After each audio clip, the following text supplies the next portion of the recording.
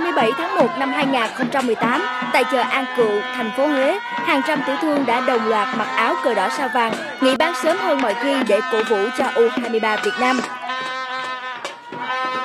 Câu chuyện rôm rã của bà con tiểu thương không còn là chuyện buôn bán nữa mà thay vào đó là bóng đá. Họ đã tự tay trang trí chiếc xe máy độc nhất vô nhị, chở theo chiếc cúp vàng.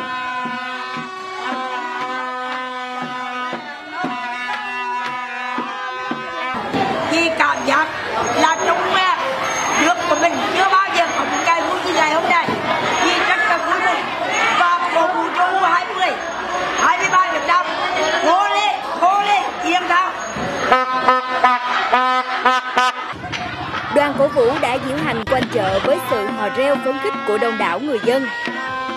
Ngày này là tôi nghỉ sớm, tôi quyết định nghỉ sớm để tôi về tôi ủng hộ Việt Nam 3 giờ chiều nay. Việt Nam cố lên! Từ 13 giờ chiều, nhiều tiểu thương đã bắt đầu dọn dẹp hàng quán để chuẩn bị xem đá bóng.